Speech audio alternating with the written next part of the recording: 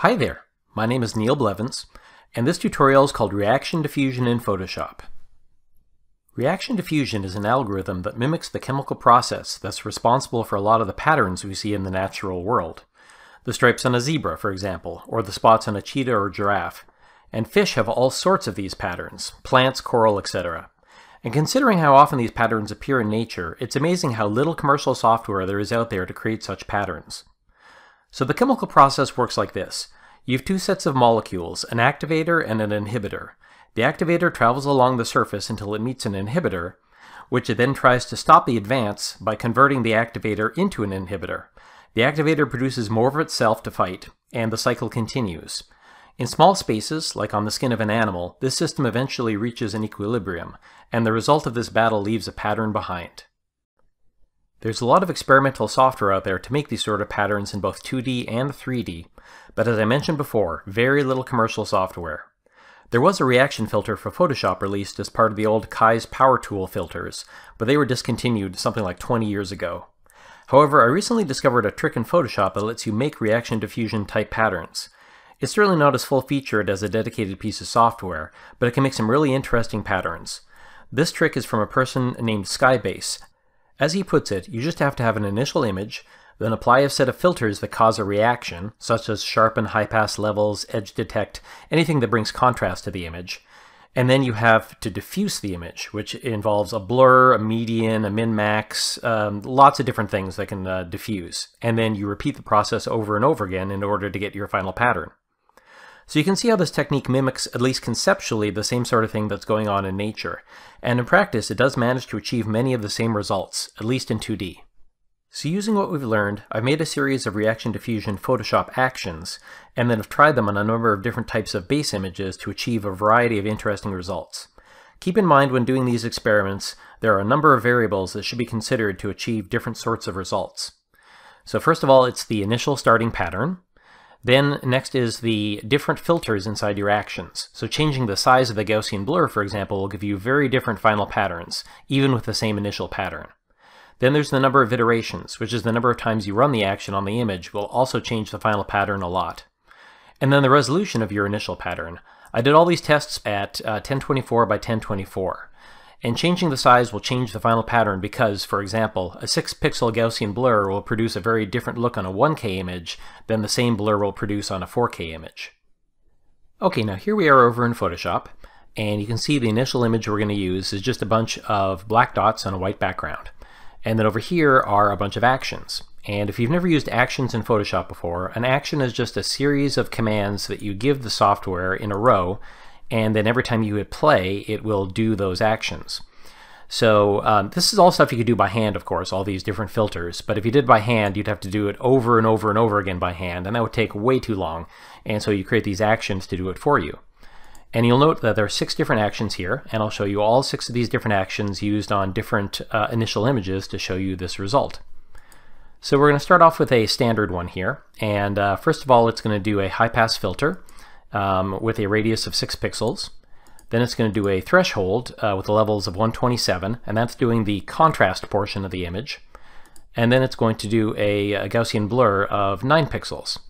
And then you repeat it over and over and over again. So we'll go here, and I will hit play.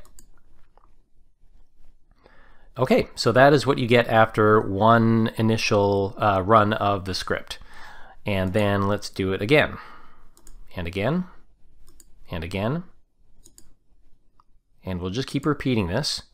And you'll note that the little um, circles are growing and growing and growing.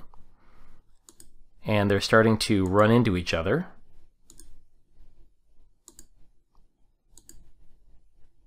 And the more and more you do this, the more and more you get this reaction and starts looking almost like cells or fish eggs or something like that.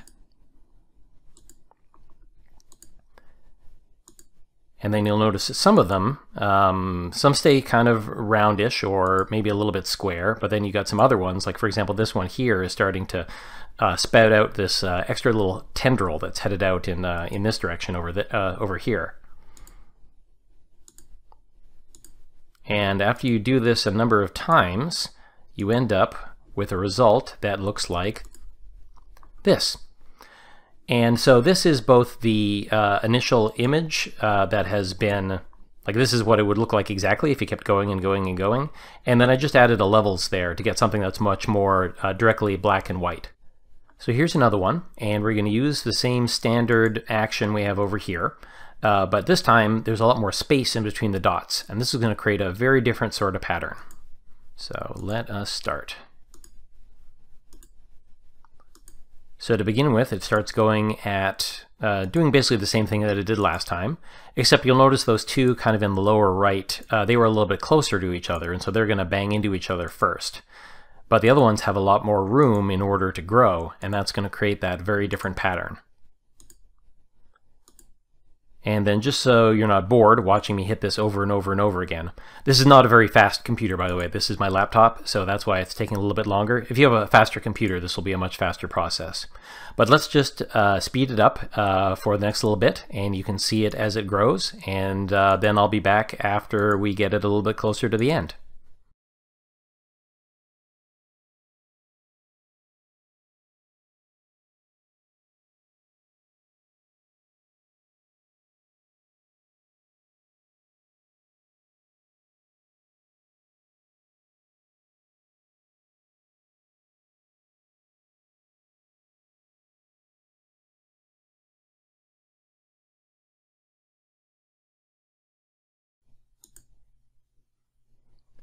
Okay, we're back. And uh, just to show you what the end result is with some contrast, there you go.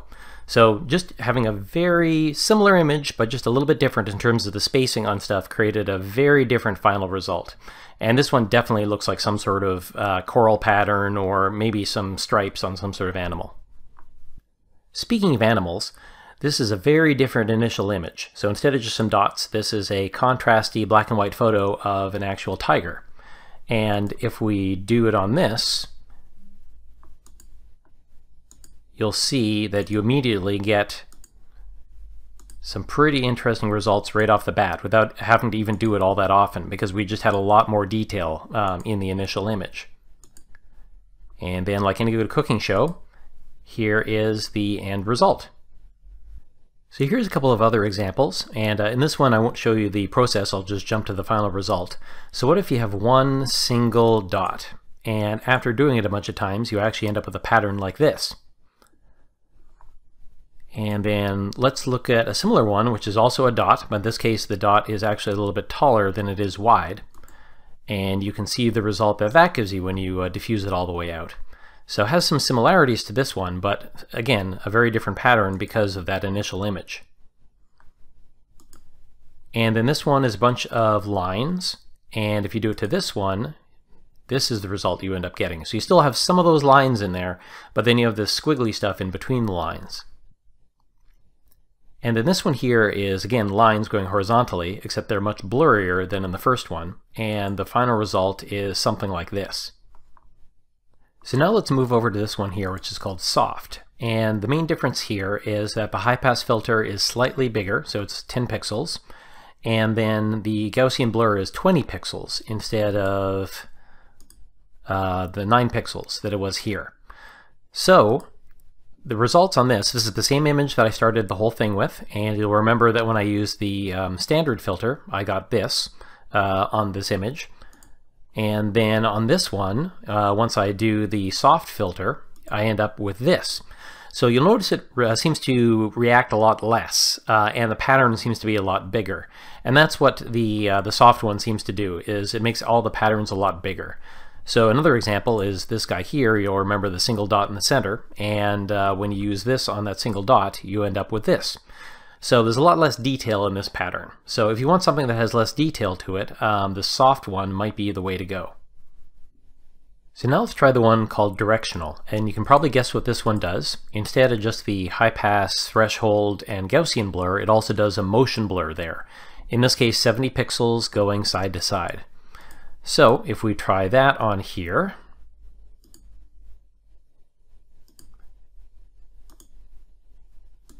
it creates this bizarre moire pattern at the beginning, and then it ends up pulling it sideways into these stripes. And you can see how at the edges you get these slightly different patterns, and that is because in those spots it doesn't have the full stripe. It's sort of a part stripe that's caught on the edges, and so you get these sort of weird sand dune type patterns. And then here it is after a whole bunch uh, more iterations. So the fourth one is called small, and the main difference here is that instead of 9 pixels Gaussian blur, it does a 2 pixel. And uh, the result is much more intricate results. So if you run it a bunch of times, you end up with something that looks like this. The second to last action is this one here, which is directional small. So it's sort of a combination of the small one and the directional, where it uh, doesn't uh, blur a whole lot, but it also does a much smaller uh, motion blur in this direction. And for this one I tried this pattern here, where I put a lot of detail on one side but not on the other side, and I figured what it would do is it kind of grow these details out in this direction. And sure enough, after you run it a bunch of times, you get something that looks like this, where you end up again with a sort of sand dunes type pattern, except you got a lot more detail here, and then it goes off to regular, straight, horizontal lines over here. And then the final one is called spin. And this one, instead of doing a uh, motion blur in a particular direction, it's doing a radial blur, which spins stuff around. So on this one, you can see, if we run this a few times, we start off with something that kind of looks like our initial image uh, from the standard, but the stuff around the edges ends up uh, merging together because of the spinning effect. And the spin happens less at the center than it does at the edges, and so that's why you're seeing these different results depending on where in the image you are. And uh, if you want to jump ahead, this is what I got after a whole bunch of iterations. Of course this Photoshop trick has some limitations, and so I'd still love to see some dedicated software to these sorts of techniques. Real reaction diffusion simulations have far more options and variables to get an even wider variety of patterns. But it's still pretty cool the amount of variation you can get with this one simple Photoshop trick. So give it a shot yourself. I'm going to be including all of the actions uh, in the description of this video so you can play with them, you can edit them, you can add your own filters into them. And if you get some cool results with some uh, initial images using your own uh, variations of these filters, please share them because I would love to see them. So thanks for watching. I hope you found this interesting. And again, really recommend trying this yourself. You'll end up wasting a whole afternoon, but it'll be so much fun that it'll be worth it. And if you want more art-related tutorials, including videos and written tutorials, feel free to go to neilblevins.com and go to the art lesson section. Or feel free to subscribe if you want to be notified the next time I update my YouTube channel. Thank you very much.